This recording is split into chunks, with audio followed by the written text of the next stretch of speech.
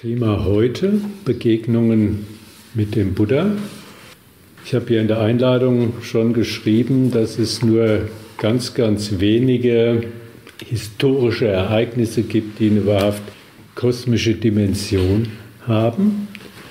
Und das ist das Erscheinen der tiefsten Wahrheit in der Welt. Oder wenn man so will, das ist das Erscheinen eines Buddha in der Welt weil ein Buddha, ein Erwachter, ja nichts anderes ist als die personifizierte Wahrheit an sich. Ja. Und das ist deshalb so wichtig, weil das Erwachen anderer Wesen, der Menschen, abhängig ist davon, dass Buddhas erscheinen. Weil man normalerweise auf die Wahrheit selbst nicht kommt. Das ist das Hauptproblem. Und deshalb haben Erwachte auch ganz besondere Qualitäten und auch einen besonderen Beruf, nein, Beruf auch, ja, einen besonderen Ruf, der ihnen vorausgeht. Er ist der Erhabene, wird gesagt, der Geheilte, vollkommen Erwachte, der im Wissen und Wandel vollendete, zum Heil gekommen, der Kenner der Welt, der unübertreffliche Lenker des anzuleitenden Menschen, der Meister der Himmelswesen und Menschen, erwacht, erhaben. Und jetzt der Satz, auf den es mir ankommt. Glücklich, wem es vergönnt ist, einen solchen Heilskünder zu erleben. Warum? Weil in der Begegnung mit einem solchen Wesen eine geistige Wende in einem stattfinden kann, oder die entscheidende geistige Wende, und weil mit dem Erscheinen eines Buddha auch ja, eine Praxis, eine, ein begehbarer Weg in die Welt gekommen ist. Jetzt kommt das kleine Aber. Es gibt ja in der Welt kaum was ohne Aber. Aber Selten zeigt sich in der Welt ein Vollendeter, ein Heiliger, vollkommen Erwachter. Selten. Das bedeutet, dass dieses Ereignis eben nichts Alltägliches ist, was man jeden dritten Tag in der Zeitung liest, obwohl wir in einem, ja, es heißt, glücklichen Weltzeitalter leben, wo mit dem Buddha Shakyamuni schon in diesem kosmischen Zyklus der vierte Buddha erschienen ist. Vorher 30, 31 Weltzeitalter, kein Buddha, davor 60 Weltzeitalter, kein Erwachter. Von daher kann man sich vorstellen, welche Seltenheit es tatsächlich ist, dass dieses Ereignis des Erwachens in dieser Welt stattfindet. Jetzt kommt noch ein Aber selbst wenn ein Buddha da ist, ist es ja immer noch nicht gewährleistet, dass man einem Buddha begegnet. Es braucht eine ganze Reihe von äußeren Bedingungen, dass das möglich ist. Das eine ist, man muss in demselben Zeitfenster geboren werden, wo ein Buddha da ist.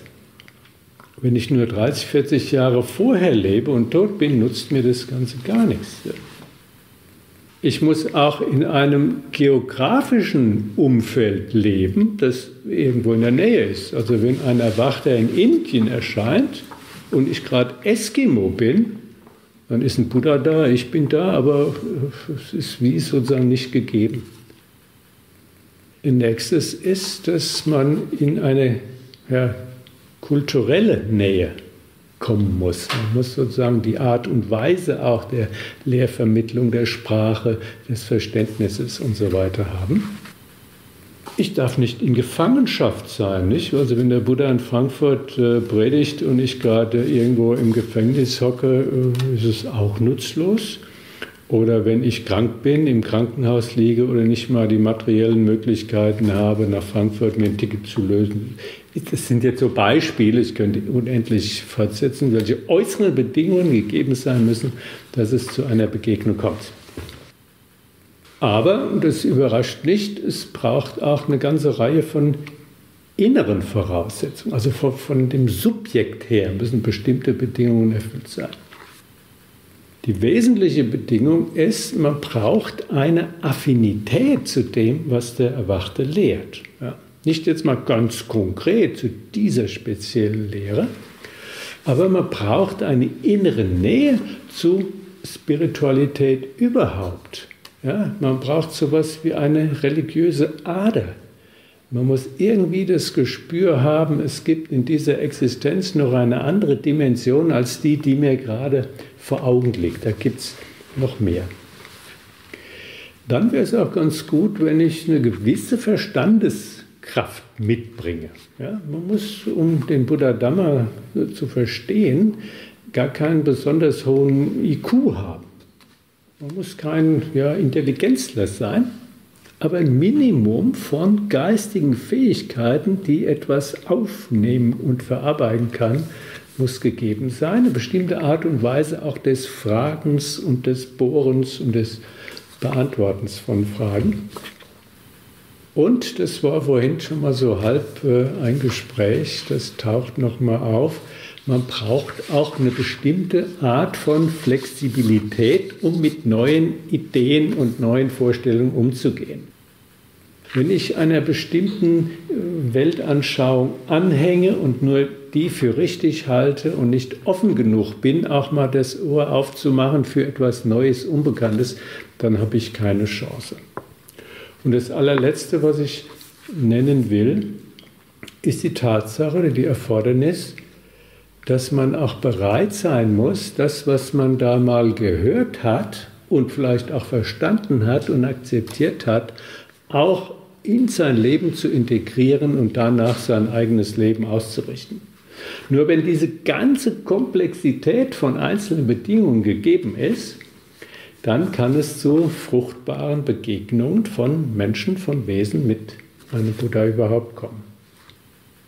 Und so heißt es an einer anderen Stelle, wie die Seltenheit eines Buddha betont wird.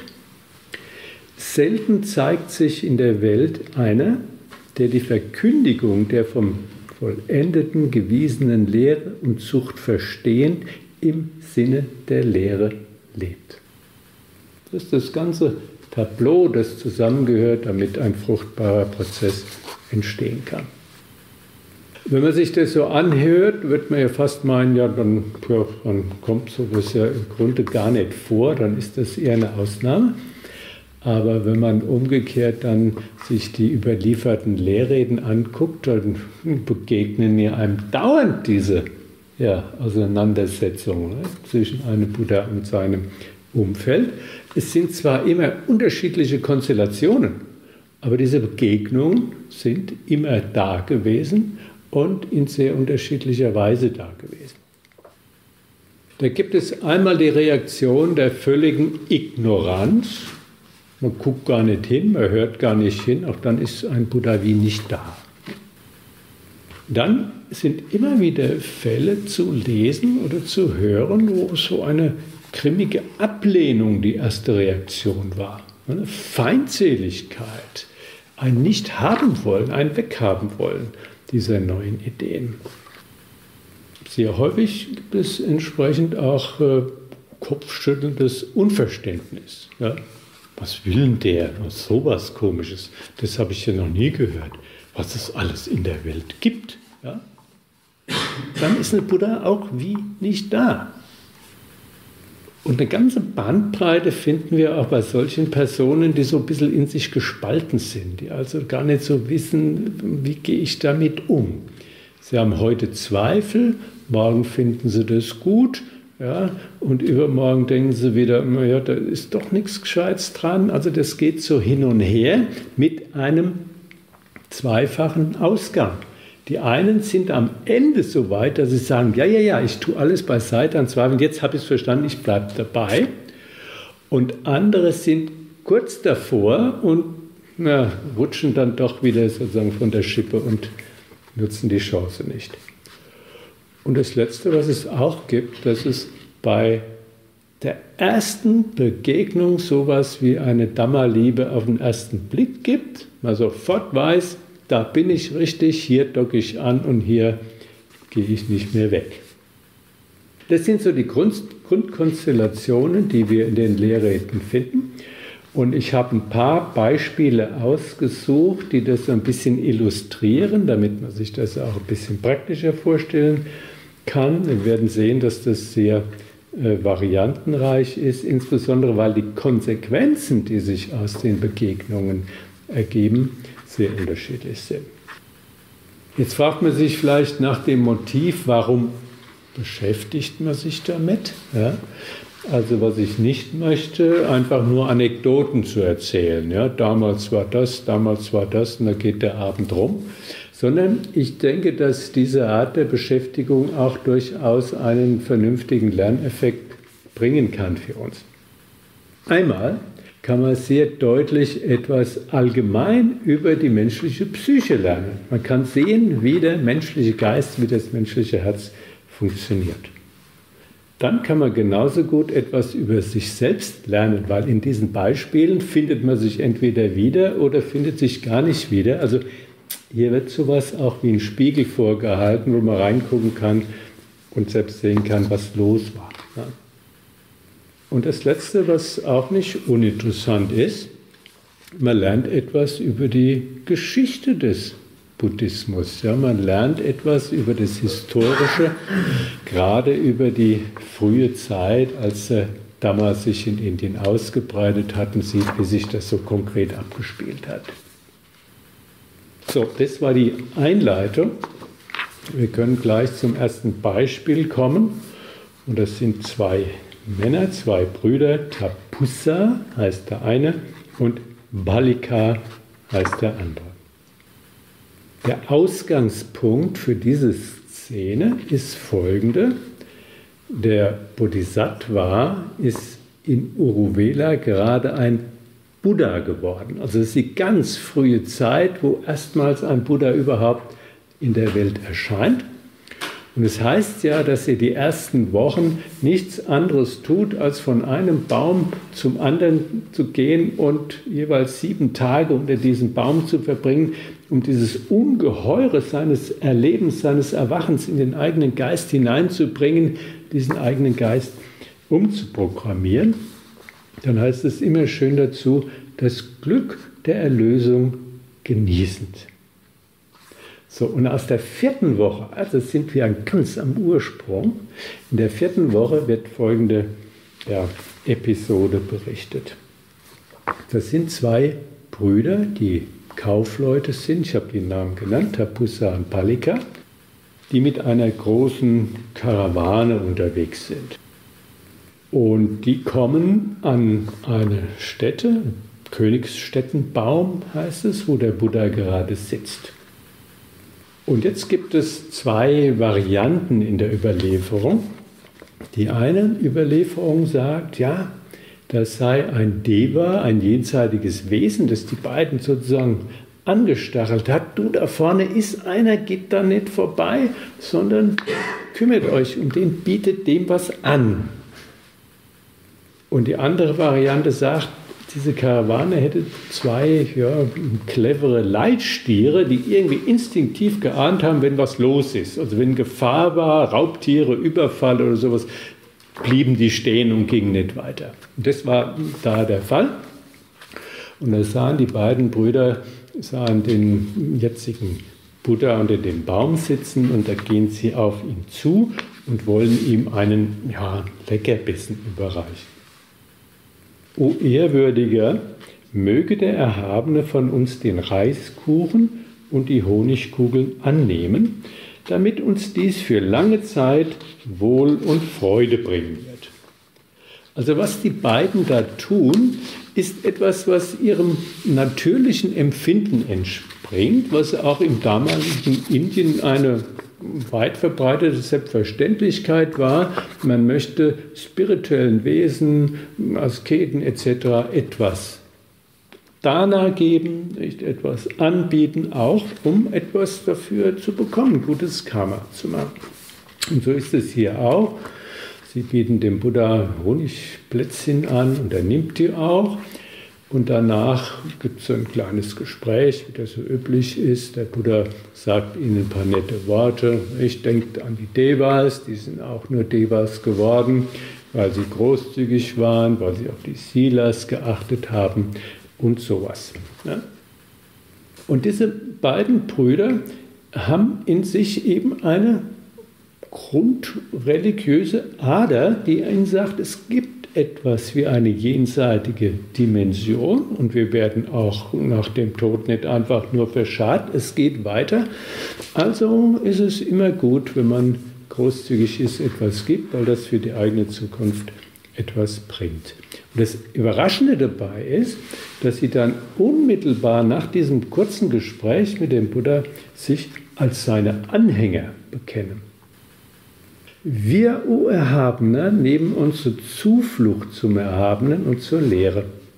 Als Laienanhänger möge uns der Erhabene betrachten, von heute an für die ganze Lebenszeit. Das ist eine, würde man heute sagen, spontane Zuflucht. Also die wussten vor zehn Minuten noch nicht, dass sie zehn Minuten später sozusagen Buddhisten sein werden. Ich sagte, äh, dass sie das aus einem Grundvertrauen herausgetan haben, weil eine religiöse Ader in ihnen war. Und das ist häufig ein Grund, dass in der Begegnung mit einem Erwachen gerade das, was vielleicht noch so ein bisschen in einem schlummert, aktiviert wird und da jetzt so einen Push bekommt, weil der Buddha ja in der Lage ist, auch die, die besten Möglichkeiten, die man so hat, in sich spürt, die da jetzt ans Tageslicht zu bringen. Vielleicht waren sie auch zusätzlich noch beeindruckt von dieser Person. Also ein, ein Buddha zu sehen, muss schon einen Eindruck auf jemanden machen. Und unter Umständen auch noch ein bisschen gepusht von den Devas. Ja, ja, ja, guck, also der ist wichtig, bleibt dabei. Ja. Interessant, wenn man die buddhistische Geschichte sich anguckt, ist hier folgendes, dass hier Zuflucht genommen wird, aber nicht die übliche dreifache Zuflucht, sondern natürlich eine zweifache Zuflucht, denn den Sangha, die Gemeinschaft, gab es ja noch gar nicht. Und selbst die Lehre war ja noch nicht entfaltet, die war ja noch nicht dargestellt, sodass diese Zuflucht etwas sehr minimalistisch war, aber sie hat immerhin stattgefunden. Und es ist auch interessant, finde ich, dass die ersten Anhänger des Erwachten gar keine Mönche oder Nonnen waren. Es waren Laienanhänger. Das wird ja meistens ein bisschen vernachlässigt, weil viele Menschen das Gefühl haben, naja, äh, Buddhismus ist etwas, was äh, Ordinierte angeht, aber nicht für das Normale.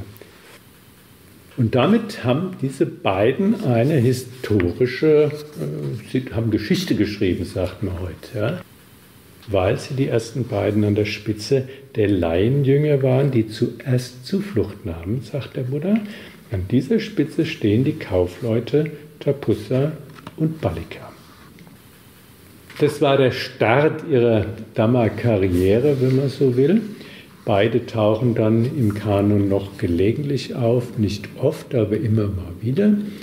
Und es wird berichtet, dass sie einmal in Rajagaha eine längere Predigt des Erwachten gehört haben und später werden sie mit anderen Hausleuten zusammen nochmal gerühmt dafür, dass sie sechs herausragende Eigenschaften haben. Die will ich euch nicht vorenthalten. Mit sechs Eigenschaften ausgestattet, hat der Hausvater Tapussa Gewissheit erlangt hinsichtlich des Vollendeten. Er hat das Todlose geschaut und lebt in der Verwirklichung des Todlosen. Welches sind diese sechs Eigenschaften? Unerschütterliches Vertrauen zum Erleuchteten, unerschütterliches Vertrauen zur Lehre, unerschütterliches Vertrauen zur Mönchsgemeinde, edle Sittlichkeit, edle Erkenntnis und edle Befreiung. Ist schon was. Nicht? Und wenn man sich nicht mit den Details beschäftigen will, das brauchen wir im Moment nicht, aber eine Sache kann man da rausziehen, dass die Formulierungen eindeutig belegt, dass beide Brüder Strom eingetreten sind. Das kann man an den Indizien festmachen, dass sie unerschütterliches Vertrauen später dann in Buddha Dhamma Sangha haben und ja, die Ethik als ihren, ja, als ihren Grundstock in der Ausrichtung ihrer Lebensführung behalten haben. Damit ähm, ist bei Ihnen ein Same gelegt, der jetzt schon, ja, doch ziemlich weit aufgegangen ist, aber in dem künftigen weiteren Leben der beiden doch sich ganz unterschiedlich zeigt und auswirkt. Hm, von Tapussa kennt ihr wahrscheinlich eine Aussage oder ein Gespräch. Er kommt nämlich eines Tages zu äh, Ananda erst und dann zu Buddha und es treibt ihn eine Frage um, die viele umtreibt. Er sagt nämlich, wir als Hausleute genießen die Sinnendinge, finden an den Sinnendingen Freude, Gefallen und Entzücken. Uns Hausleuten aber, die wir das tun, uns dünkt die Entsagung gleichsam ein Abgrund. Doch habe ich gehört, Ehrwürdiger, dass in dieser Lehre und Ordnung schon bei ganz jungen Mönchen das Herz einen Drang fühlt zur Entsagung.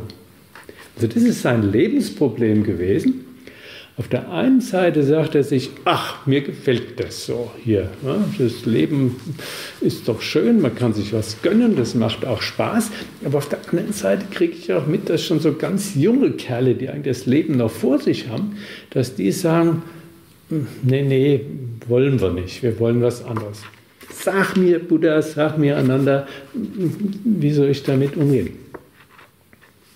Und da erzählt der Erwachte über seine eigenen vergangenen Aktivitäten, über seinen eigenen Entwicklungsweg und sagt, jetzt verkürzt, es ist völlig klar gewesen, mir in meinen jungen Jahren schon völlig klar gewesen, dass man mit den Sinnen Dingen nicht weit kommt, dass die nichts taugen. Aber ich habe auch früh gemerkt, dass mit diesem Wissen das Verlangen nach diesen Sinnesdingen ja noch nicht aufgehoben ist, sondern dass dann erst die kontinuierliche Arbeit beginnt und erst wenn man diesen Zwiespalt weiß, und weiß auch, dass diese Umschichtung einen langen Zeitraum braucht und dass man die Sinnendinge erst wirklich dann konkret und dauerhaft aufgeben kann, wenn man etwas anderes, Besseres dafür hat, dann hat man eine Chance, mit dem Thema, dem Problem fertig zu werden. Und das, glaube ich, hat der Bussa ganz gut erkannt. Er hat, wenn man so will, sich für den leichteren Weg entschieden, als Laie, als Hausmensch sozusagen. Aber da er den Stromeintritt damals schon hatte, war das ein genauso sicherer Weg wie der, den sein Bruder gegangen ist. Der hat die ganze Chose ein bisschen intensiver angepackt. Er wollte direkt und schneller vorankommen, ist deshalb Mönch geworden und hat auch ja, in diesem Leben die Freiheit noch erreicht.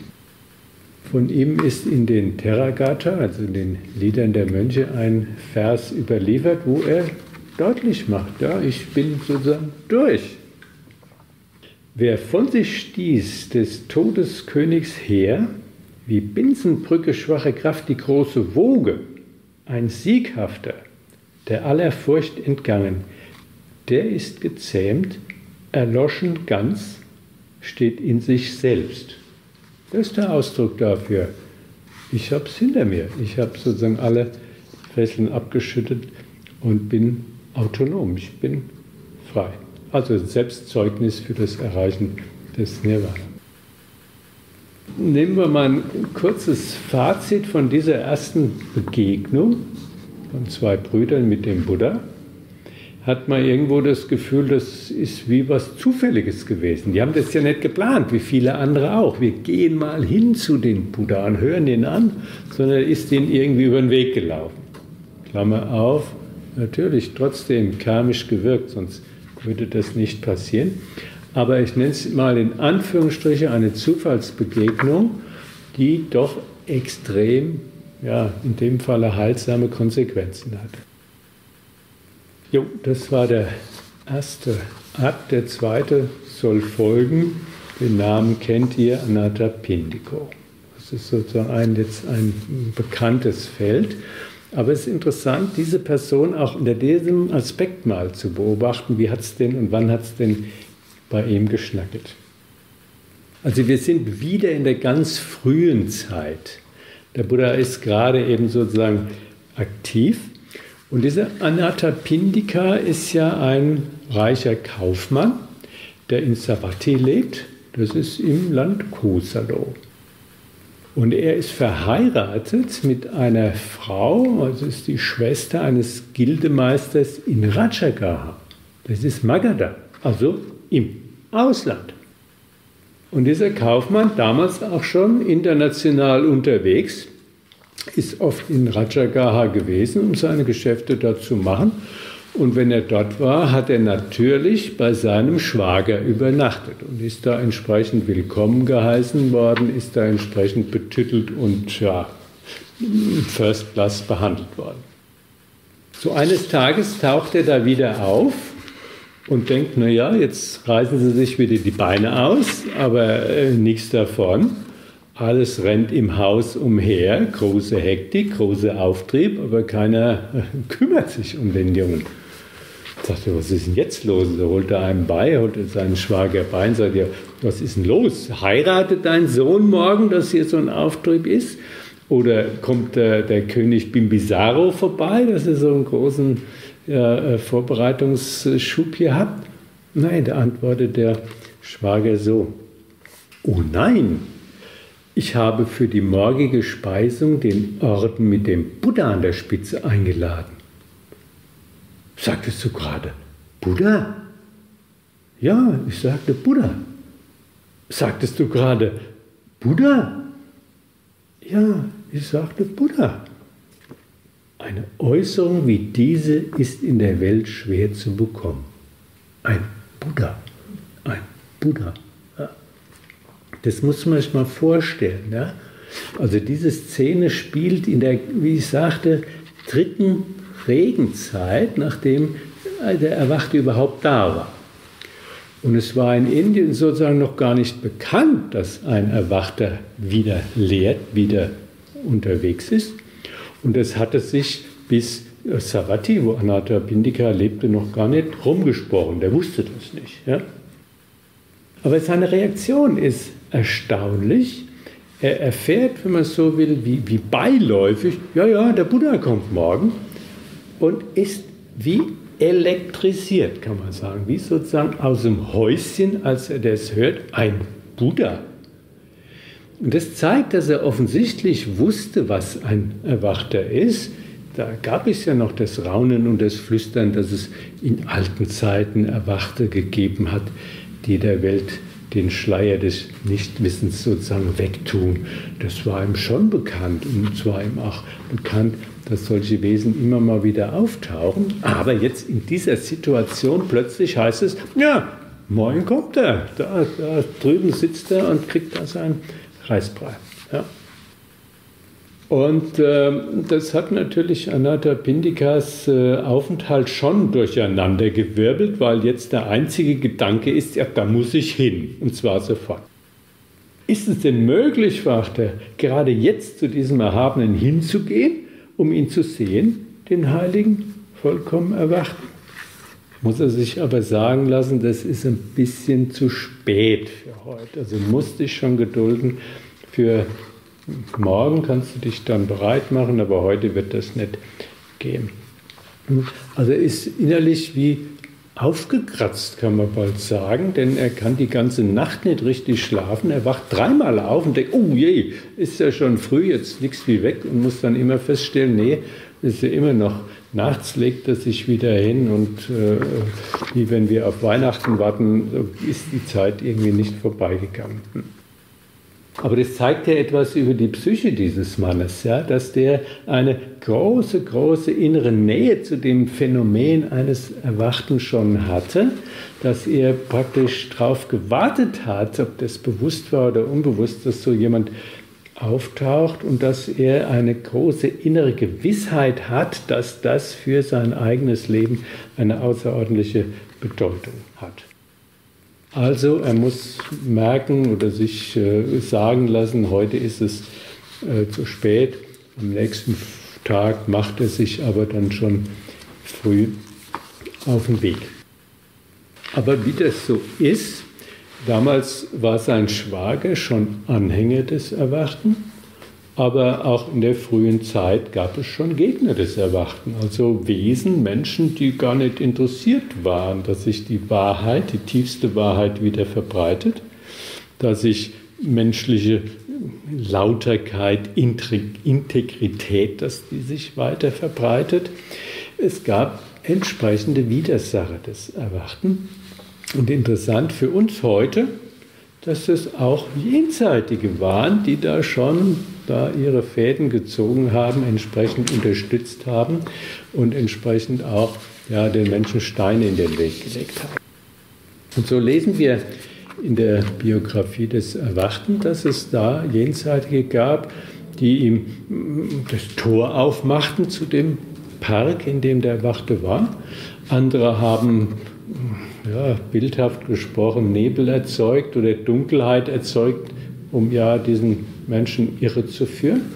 Und da kann man sich vorstellen, dass Anata Bindika in dieser Situation schon ein bisschen hin und her gerissen war und durcheinander war. Er hatte schon Angst, soll ich jetzt weitergehen, soll ich äh, nicht besser zurückgehen, was mache ich denn jetzt? Und da gab es aber ein wohlwollendes Wesen, ein Yaka, wird gesagt, Sivaka, war sein Name, der ihn jetzt anspricht. Er sagt, 100 Elefanten, 100 Rosse, 100 Wagen mit Maultieren bespannt, 100.000 Mädchen mit ihren Ohrschmuck aus Juwelen. Die sind alle nicht den 16. Teil eines einzigen Schrittes wert. Gehe hin, Hausvater, gehe hin, Hausvater. Hingehen ist besser als umkehren. Also das war ein, deutlicher kann man es nicht sagen. Für einen Kaufmann, der auf Geld guckt, der auf Gewinn guckt, der sieht, wie er sozusagen im Materiellen zurechtkommt, dem zu sagen, ein einziger Schritt ist mehr wert als ein Sechzehntel von einem ja, Riesengewinn, den du machen kannst, ist natürlich schon etwas, was ihn einerseits schwankend gemacht hat, andererseits aber wieder ihn ja, verlockt hat, diesen Schritt zu gehen. Das ging dreimal hin und her, dass er gesagt hat, nein, ich gehe nicht. Ah doch, ich gehe. Naja, lange Rede, kurzer Sinn. Am Ende neigte sich sein Gemüt zum Gehen und er ist weiter marschiert. Zu jener Zeit aber war der Erhabene, da die Nacht hell wurde, aufgestanden und erging sich im Freien. Es sah aber der Erhabene den Hausvater Anathapindika von ferne herankommen. Wie er ihn sah, stieg er vom Wandelgang herab und setzte sich auf den für ihn vorbereiteten Sitz nieder. Nachdem er sich niedergesetzt hatte, sprach er zu dem Hausherrn Anathapindika also, Komm her, Sudatta. Da nun dachte der Hausvater Anathapindika, bei meinem Namen redet mich der Erhabene an und fiel auf der Stelle mit seinem Haupte zu den Füßen des Erhabenen nieder und sprach also. Da muss man den Hintergrund dieser Namen kennen. Also Anata Pindiko, wörtlich übersetzt heißt es, der Speiser der Weisen oder der Unbeschützten. Und das war im Grunde der Spitzname von Anata Pindika. So kannte man ihn aber sein bürgerlicher Name war Sudatta. Und es heißt, er habe im Hingehen gedacht, wenn das ein Buddha ist, dann weiß der, wer ich bin. Und dann sagt er nicht Anatta Pindika zu mir, dann sagt er Sudatta zu mir. Und das ist auch passiert und hat ihn dadurch natürlich entsprechend noch äh, bestärkt in seinem Vertrauen. Das scheint wirklich ein größeres Wesen zu sein, das über Herzensdurchschauung verfügt, ein Wesen, das sieht, wer wer ist, selbst wenn man da verkleidet auftaucht. Also das hat ihn erstmal baff gemacht und jetzt spricht er doch den Buddha an. Hat Herr der Habende wohl geruht, also hast du gut geschlafen.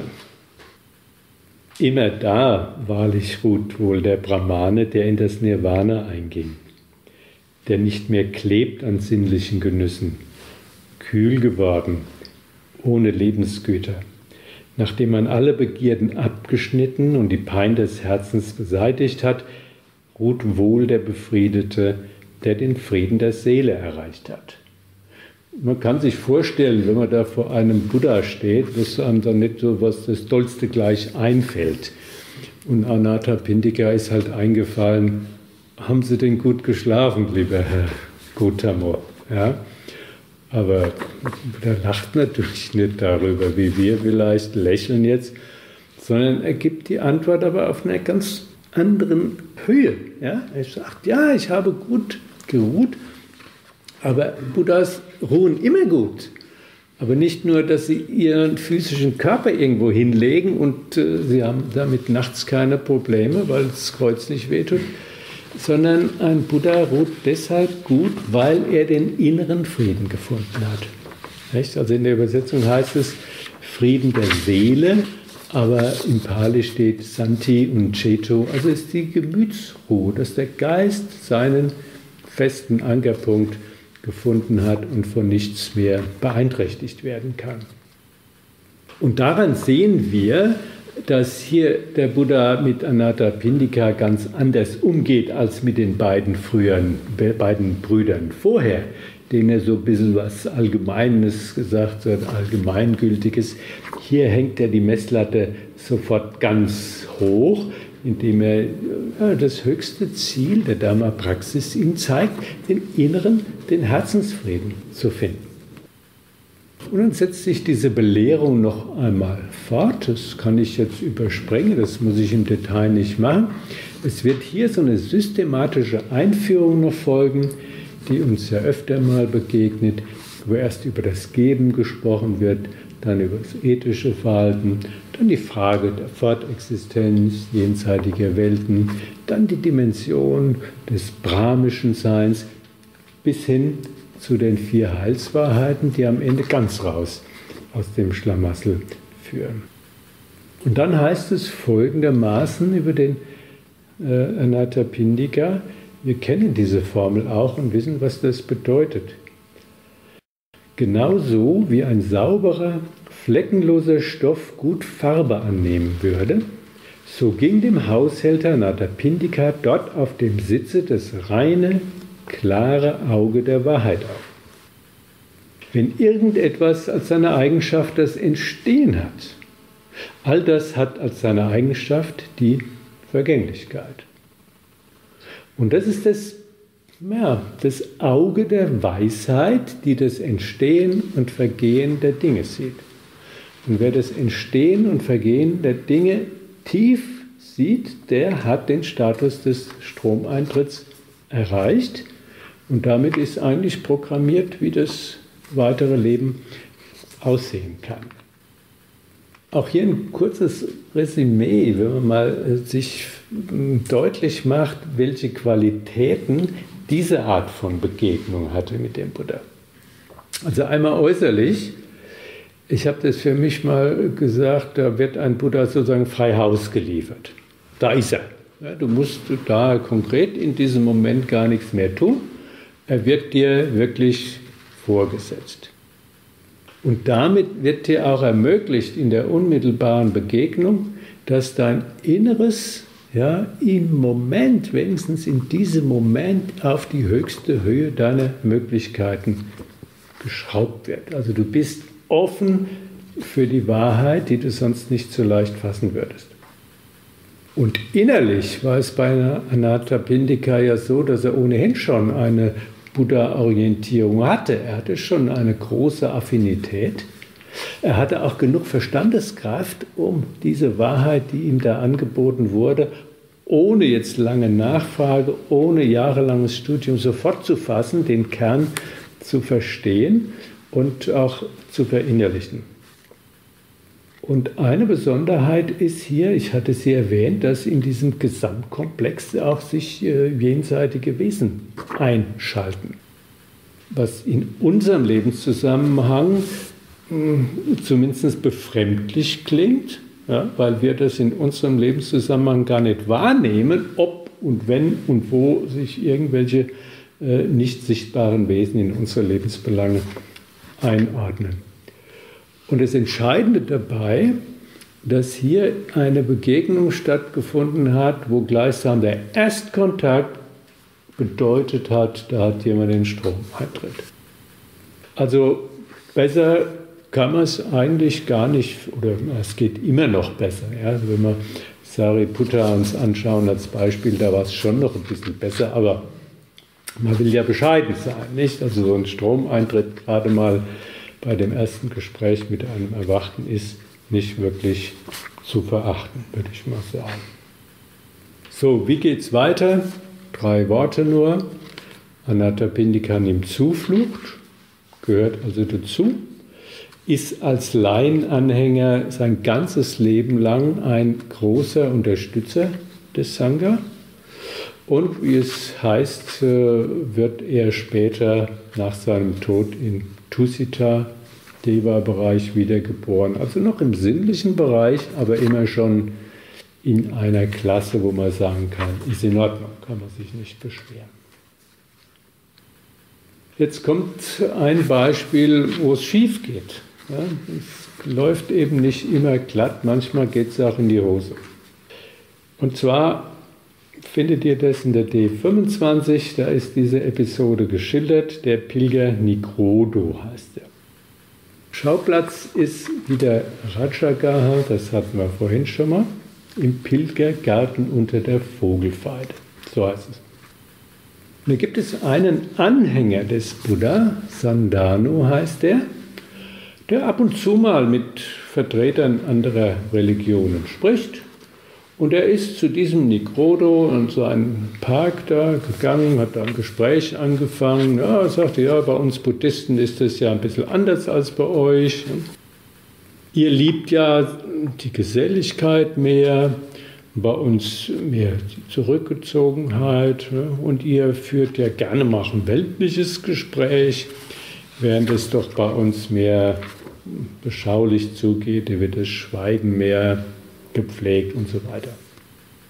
Naja, diese Pilger sagen dann nicht, äh, ja, ja, bei euch ist alles besser, sondern das Gegenteil natürlich. Sie fühlen sich überlegen. Wir sind ja Asketen schließlich und äh, von oben herab behandeln sie den einfach und sagen, naja, der Buddha, der kann ja nicht immer ein vernünftiges Gespräch führen. Der hat so lange in seiner Höhle abseits gelebt, dass ihm der Sinn verwirrt ist. Wenn wir dem nur eine Frage stellen, nicht, dann haben wir ihn schon aus der Bahn geworfen. Aber dummerweise hört es der Buddha gerade, kriegt es mit, dass äh, die da reden und wie das so ist. Er kommt dann in der Gegend hingelaufen Sie sehen ihn dann von weitem kommen und sagen, uh, da kommt er, seid mal ruhig, vielleicht kommt er dann doch bei uns mal vorbei. So war das. Buddha kommt in die Nähe und Nikodo spricht ihn jetzt sehr höflich an. Es komme, Herr der Erhabene, gegrüßt sei, o Herr der Erhabene. Lange schon, o Herr, hat der Erhabene hoffen lassen, uns hier einmal zu besuchen. Möge sich, o Herr der Habende, setzen. Dieser Sitz ist bereit. Wir sehen da schon so eine gewisse Ambivalenz. Ja? Auf der einen Seite so von oben herab, ach, der Buddha, was ist das schon für eine? Auf der anderen Seite, jetzt wo er auftaucht, äh, ganz klein geworden. Vielleicht auch äh, aus dem Empfinden heraus, wenn der dir so gegenübersteht, dann ist es doch eine andere Person, als wenn man nur in der Ferne über ihn redet. Das Überlegenheitsgefühl von vorher ist jetzt mehr oder weniger gewichen und es kommt auch so ein bisschen das Interesse auf, ja, mal ein Gespräch zu führen. Denn man muss wissen, in der damaligen Zeit war das, was wir heute interreligiöser Dialog nennen, war damals gang und gäbe. Da haben sich viele Religionsführer relativ oft getroffen und diese Debatten sind oft auch öffentlich geführt worden. Also setz dich doch hin, lass uns mal miteinander reden. Und jetzt fragen sie ihn und wollen wissen, was denn eigentlich die Kernlehren des Erwachtens sind. Sie wollen wissen, wenn die Schüler zu dir kommen, was können die von dir erwarten? Was kriegen sie geboten? Und der Buddha sagt, ja, das ist ein bisschen schwierig, so aus dem Stand jetzt das euch einfach zu sagen. Ihr würdet es nicht gleich verstehen. Besser ist es, wir reden mal über eure Lehren und dann gucken wir mal, wie sich das zueinander verhält. Das sind die erstmal ganz angetan das sind die gar nicht gewöhnt, dass sie auch mal zu Wort kommen sollen, wenn so ein anderer auftaucht. Und sie sagen von sich aus, ja, bei uns hm, spielen zwei Dinge eine Rolle. Sie nennen das Buße und Abscheu. Den Worten kann man entnehmen, dass das Asketen sind, die ein sehr asketisches Leben führen mit Selbstkasteiung und Selbstqual. Also äh, diese Truppe, die sich das Leben ein bisschen schwer macht. Der Buddha hört sich das an und sagt, ja, das ist äh, eine interessante Sache, aber lass uns das mal untersuchen, ob in dieser Art von Lebensführung, ob da nicht irgendwelche Gefahren vielleicht drin sind. Könnte ja sein. Und dann reden sie ein bisschen im Dialog hin und her. Die Leute sind ganz begeistert, weil sie sagen Folgendes. Außerordentlich, in der Tat ganz wunderbar ist des Asketen Gotama hohe Macht, dass er allen Ernstes seine eigene Meinung hintansetzen und einer Äußerung von anderer Seite das Wort reden mag. Das war ihnen noch nicht begegnet, dass einer freiwillig sagt, jetzt erzähl mal und wir untersuchen das mal. Und jetzt gucken Sie sich das näher an. Der Buddha sagt, ja, überlegt doch mal, wenn jemand so Asket ist, ja, wo sind dann die Stolpersteine? Wo kann es denn schief gehen? Könnte es nicht sein, dass man da in der Praxis irgendwann mal so eine Selbstzufriedenheit hat? Ja, dass man sagt, ja, was wir so machen, ist gut und Schluss damit. Ja, das gibt es, das kann sein. Und weiter, ja, könnte es nicht sein, dass man aus falschen Motiven das macht, dass man vielleicht nur darauf schielt, dass man irgendwie Ruhm und Ehre gewinnt. Ja, nach dem Motto, Mann, das sind Kerle, das sind Asketen, die ringen sich was ab. Ja, das gibt es auch. Oder kann es nicht sein, dass ihr das nur macht oder dass man diese Praxis nur verfolgt, damit man einfach mehr Dana kriegt, mehr Unterstützung. Auch wieder nach dem Motto, das sind die wahren Kerle, guck mal da, was die sich abverlangen. Und die anderen, die Weicheier da, die buddhistischen Weicheier, ja, wir geben lieber denen was. Ja, das könnte auch sein, aber wie das so ist, das gilt ja immer nur für die anderen, diese Gefahren. Wir sind ja da völlig frei. Das stand so im Hintergrund. Und jetzt holt der Buddha tief Luft. Ja? Ja, aber selbst wenn ihr alle diese Gefahren beiseite lasst, wenn ihr die alle überwindet, euch nicht darauf irgendwie einlasst und fehlgeht, dann seid ihr beim Entscheidenden überhaupt nicht angelangt. Das ist natürlich heftig. Man sagt, alles läuft top bei euch, aber ihr seid noch nicht mal an dem Punkt, wo es ankommt. Da müssen wir natürlich mal schlucken jetzt in der Situation. Aber der Wachte sagt dann in einer Art, äh, ja, Schnellfassung, ein äh, Sieben-Meilen-Stiefel-Schritt, was denn spirituelle Praxis bedeutet. Ich sage wirklich Sieben-Meilen-Stiefel, denn er sagt, ethisches Verhalten, dann springt er gleich Aufhebung der Hemmung, das heißt Übergang zum Samadhi, höchste Entfaltung von Metta, Formlosigkeiten und darüber hinaus. Da sind die natürlich erstmal geblättet.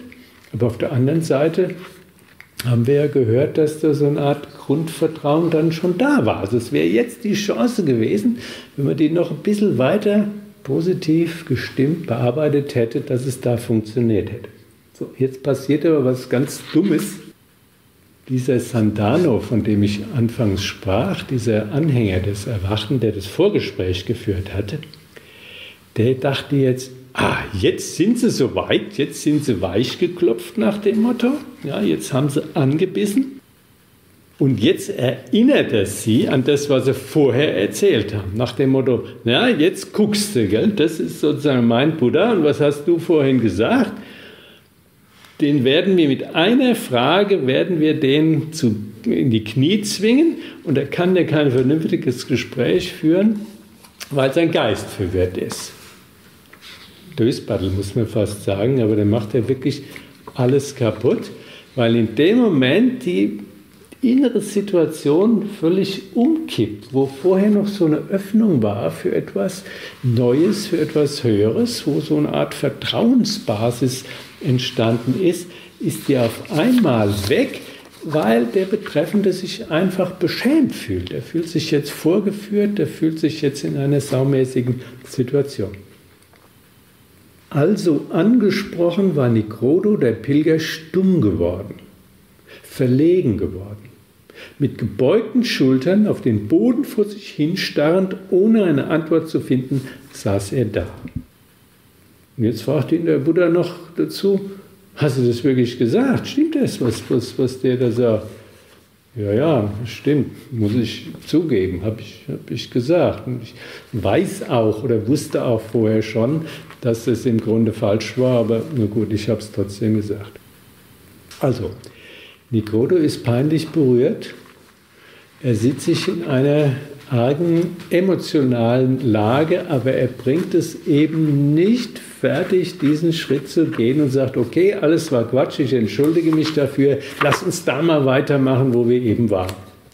Sondern das Gegenteil ist der Fall. Der innere ja, Hammer fällt, nicht? die Jalousie geht zu, Blockade aufgebaut. Der Buddha gibt noch eine Chance. Jetzt sagt also Leute, versteht mich nicht falsch, ich bin nicht hier etwa, um Schüler abzuwerben. Also wenn ich das jetzt darstelle, nicht damit ihr zu mir kommt. Ich will auch nicht, dass ihr euren Chef, den Nikrodo, beiseite tut. Ich will nicht euer Chef werden. Ich will auch nicht mal eure alten Gewohnheiten und Gepflogenheiten in Frage stellen, sondern ich biete euch an, dass ihr wenigstens sieben Tage probeweise zu mir kommt und euch das nur mal anhört. Nur so eine Art Test mal machen. Ihr müsst ja nichts unterschreiben jetzt. Probiert es doch mal. Aber alles bleibt vergeblich. Nach diesen Worten verblieben die Pilger dort stumm, verlegen geworden, mit gebeugten Schultern auf den Boden vor sich hinstarrend, ohne eine Erwiderung zu finden, saßen sie da, als wie schon vom Tod im Geiste umgarnt. Da hat in der Erhabene sich gesagt, alle sind sie, diese eitlen Menschen, vom Tode berührt, dem Bösen. Da auch nicht ein einziger sich entschließen mag, wohl andern nur des Versuches halber wollen wir bei dem Asketen ein heiliges Leben führen. Sieben Tage, was liegt daran? Also das war Schluss und ich denke, das ist eine besonders tragische Situation aus verschiedenen Gründen. Einmal, diese ganze Truppe, das sind schon religiöse Aktivisten, das sind schon Sucher, das sind nicht irgendwelche Weltleute, die man auf eine neue Spur führen müssen. Es sind darüber hinaus sogar Profis, weil sie ihr ganzes Leben abgestellt haben auf eine spirituelle Praxis und nicht nur den Uposatha-Tag machen. Sie sind ja schon asketisch unterwegs. Und was da passiert, ihnen begegnet auch ein Buddha, der ihnen nicht nur etwas über Karma und Dana erzählt, der ihnen die Spitzenlehre zeigt, der ihnen sozusagen den Ausgang präsentiert. Also mehr kann man nicht äh, verlangen. Der auch nicht sagt, ihr müsst bei mir unterschreiben und dann seid ihr ein Leben lang gefunden, sondern er sagt, probiert es nur mal. Sieben Tage kann man doch mal für so eine Sache opfern. Aber diesen kleinen Schritt können sie nicht über sich bringen. Sie sind innerlich völlig blockiert. Und es heißt in unserem Text, wie vom Tode im Geiste umgarnt. umgarnt. Wo Tod steht, steht im Pali, Pali Maro. Also das kann man auch personifiziert verstehen. Sie sind in dem Moment von Maro wirklich beeinflusst. Ihr Geist ist besessen von falschen Vorstellungen, von falschen Ideen. Und das Verrückte ist, ich habe den Eindruck, dass sie das wieder besseres Wissen tun. Sie haben ja eigentlich eingesehen, was los ist, und trotzdem kommen sie von ihrer Nummer nicht runter. Warum ist da nicht geschildert? Aber man kann sich das leicht äh, nachvollziehen. Da ist man vielleicht jahrelang, jahrzehntelang auf einem Trip, macht was, intensiv. ist der Chef noch von einem Laden und dann kommt ein anderer und sagt, lass es doch, macht was anderes. Nicht? Dass man da entweder aus Bequemlichkeit heraus sagt, nee, ach, wir wollen in unserem Alter nicht nochmal was Neues anfangen, wir bleiben lieber bei dem, wo wir schon immer waren. Oder auch, was oft eine Rolle spielt, der Stolz. Nicht? Man will sein eigenes Ding machen und wenn der andere was Besseres hat, dann lässt man es beiseite liegen, weil man lieber seinen eigenen Mist pflegt, als äh, das von einem anderen zu übernehmen. Also ihnen wurde, wenn man so will, der Schlüssel zur Freiheit auf dem Tablett hingehalten, aber sie haben ihn nicht ergriffen, wie die vorangehenden Beispiele, sondern sie haben es einfach äh, ignoriert und diese große Chance verpasst. Schlussbemerkung. Ich will nochmal zurück auf die Frage, welche Motive hat man denn, sich mit diesen Dingen zu beschäftigen? Ich habe am Anfang schon gesagt, es ist auch eine Möglichkeit, etwas über sich selbst zu erfahren, dass diese Beispiele, und es gibt ja noch andere mehr, eine Einladung sind auch zur Selbstreflexion. Ja? Wie war es denn bei mir? Äh, wie ist denn die Konstellation bei mir gewesen, als ich dem Buddha auf welche Art und Weise auch begegnet bin? War das nun ein schnelles Einklicken sofort am ersten Tag oder hat es zehn Jahre gedauert, bis ich so ein bisschen leises Interesse entwickelt habe? War da eine große innere Nähe da oder waren da eher Zweifel da? Waren da eher Ängste vielleicht auch da? War das das Ergebnis einer längeren Suche? War das ein Zufallstreffer? Hat mich vielleicht jemand an die Hand genommen? Ah, geh doch mal mit, sozusagen durch Vermittlung von anderen. Wie war mein eigener Zugang? Wann ist der Buddha für mich eine Vertrauensperson, wo ich in erster Linie aus innerem Vertrauen das an Praxis mache, was ich mache?